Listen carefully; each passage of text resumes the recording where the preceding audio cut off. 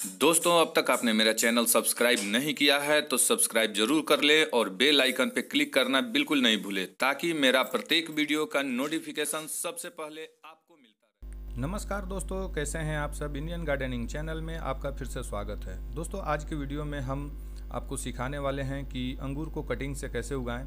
दोस्तों, जैसे कि आप देख पा रहे हैं, ये कोई बेहतर खेती का वीडियो शूट नहीं है, बल्कि शौकिया तौर पे आप इसे अंगूर को घर पे भी लगा सकते हैं। बहुत सारे लोग बेल वाले सो प्लांट्स लेते हैं।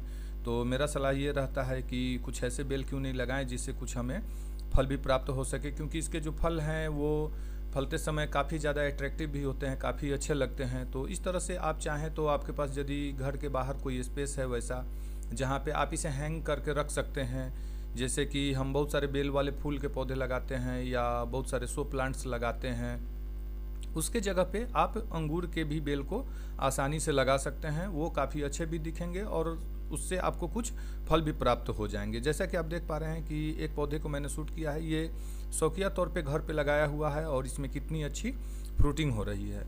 तो दोस्तों, अभी इस वीडियो में बस आपको दिखाएँगे कि इसे हम इसके बेल को कैसे ग्रो करते हैं, इसके कटिंग कैसे लगाते हैं। तो दोस्तों, मैंने उस पौधे का एक बेल ले लिया है और उसको मैं कटिंग कर लेता हूँ। यहाँ पे ध्यान रखेंगे कि उसमें आपको चार से पाँच इंची पे एक एक गांठ मिलती हैं। तो आप जब भी कटिंग करें तो वहाँ पे कम से कम दो या तीन गांठ आप अंदर से ले लें, ताकि आप एक गांठ को मिट्टी के अंदर जाने दे और दो गांठों को ऊपर रहने दे। तो हो सकता है कि मिट्टी के नीचे से भी आपके उसमें नए जो स्प्राउट्स हैं वो निकल आएँगे और मिट्टी के ऊपर वाले भी निकलेंगे तो आपका पौधा काफ़ी घना होगा और निश्चित तौर पर लगेगा। तो दोस्तों, जैसा कि आपने देखा कि मैंने बेल का कटिंग ले लिया है और मैं उसे एक छोटे से पोट में ग्रो करने वाला हूँ। और ग्रो करने के लिए दोस्तों, मैं आपको यहाँ एक बार फिर से बताना चाहूँगा कि सॉइल मीडिया के बारे में बहुत ज़्यादा इंपॉर्टेंट होता है, उसका सॉइल मीडिया तैयार करना। तो ग्रोइंग के लिए सॉइल मीडिया का जो कुछ रेशियो होता है, वो इस प्रकार होता है कि कोकोपीट और नदी की रेत और गार्डन सॉइल और वर्मी कंपोस्ट ये चारों चीज़ आपको बराबर बराबर भागों में लेना है। यानी कि 25 परसेंट हिस्सा चारों चीज़ों का होना चाहिए। इस तरह से आपको अपनी सॉइल मीडिया तैयार करनी है और इसमें कोई खास और ज़्यादा चीज़ की आवश्यकता नहीं होती है। आप चाहें तो अच्छी रूटिंग पाने के लिए आप चाहें तो इसमें रूटिंग हार्मोन का प्रयोग कर सकते हैं, जो आपको बाज़ार में 25 से 30 रुपए में एक छोटा सा डिब्बी मिल जाता है। दोस्तों, अंगूर की कटिंग लगाते समय एक बात आपको खास तौर पे ध्यान में रखना है, क्योंकि कटिंग करते वक्त उसके जो ब्रांचेस हैं, आपको पता नहीं चलेगा कि कौन सा ऊपर का भाग है और कौन सा नीचे का भाग है। तो आप हमेशा जब भी कटिंग करते हैं तो हमेशा ये ध्यान रखें कि नीचे वाला भाग ही नीचे मिट्टी में दबाना है और ऊपर वाला भाग को ऊपर रखना है। नहीं तो यदि आप उसे उल्टा लगा देंगे तो उसमें कभी जर्मिनेशन नहीं होगा, कभी उसमें नए स्प्राउट्स जो हैं, आपको नहीं निकलेंगे।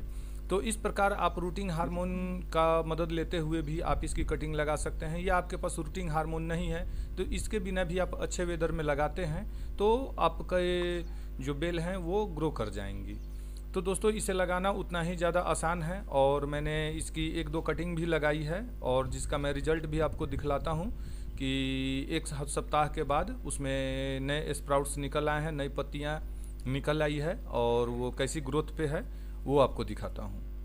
तो कटिंग लगाने के ठीक 10 दिन के बाद का ये रिज़ल्ट है, जो आप देख पा रहे हैं कि इसमें तीन से चार पत्तियाँ आ गई है और ये अच्छी तरह से ग्रो कर रही है। तो यहाँ पे हम ध्यान रखेंगे कि कम से कम इसे एक महीने तक इसे हिलाएँगे नहीं, इसे उसी पोर्ट में रहने देंगे। एक महीने के बाद इसमें रूट्स जो हैं अच्छी तरह से मेच्योर हो जाते हैं, अच्छी तरह से सर्वाइव कर लेते हैं। तो फिर इसे छोटे से पोर्ट से निकाल करके और आपको इसे ज़मीन में लगा देना है। ध्यान रखें दोस्तों कि यदि आप इसे गमला में लगाते हैं तो आपको काफ़ी बड़ा आकार का गमला लेना होगा और हमेशा प्रूनिंग करते रहना होगा, वरना ये उसमें ग्रोथ नहीं कर पाएँगी। इनकी पत्तियाँ छोटी छोटी हो जाएँगी और शायद फल भी नहीं लगे, क्योंकि इसका जो बेल है वो काफ़ी विशालकाय होता है, बहुत लंबा बढ़ता है और इसके लिए आपको ज़मीन में ही लगाना ज़्यादा उचित होगा। और ज़मीन की बात कर ले तो आप रेतीली मिट्टी वाली ज़मीन पर लगाएँगे तो इसका रिज़ल्ट आपको काफ़ी अच्छा मिलेगा। यदि हम टेम्परेचर पे इसकी बात कर लेते हैं तो इसे आप 25 से 40 डिग्री के बीच का टेम्परेचर वाले जगह में कहीं भी आप इसे आसानी से उगा सकते हैं। तो दोस्तों, वीडियो कैसा लगा? अच्छा लगा तो प्लीज़ इसे लाइक कर दीजिएगा और अपने दोस्तों को भी शेयर कर दीजिएगा और मेरे चैनल को सब्सक्राइब कर दीजिएगा। मिलते हैं एक और नए वीडियो के साथ। तब तक के लिए नमस्कार।